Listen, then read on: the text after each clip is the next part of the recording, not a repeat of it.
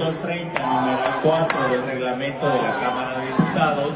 Y participantes manifestando. Seguiremos discutiendo. Señor presidente, mayoría. Firmes y fuertes, defendiendo a México. Proceder a la votación. Ustedes van a ser testigos de un acto histórico el día de hoy. La votación de la reforma eléctrica.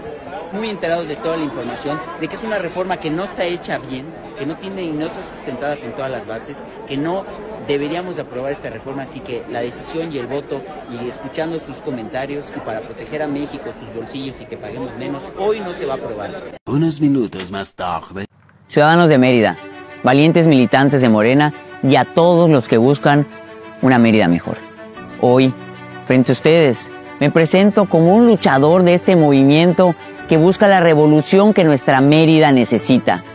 Sé que las críticas han sido duras por el mismo miedo que tienen de perder el gobierno, el poder y sus privilegios. Es comprensible esta guerra sucia en mi contra, pero soy de los que nunca se rinde y ante un reto difícil me crezco